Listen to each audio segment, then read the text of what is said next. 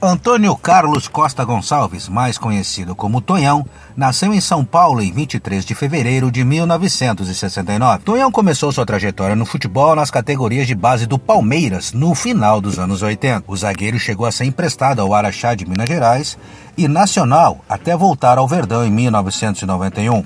Zagueiro vigoroso e de muita raça, Tonhão caiu nas graças do palmeirense e fez parte dos momentos de grandes conquistas do clube.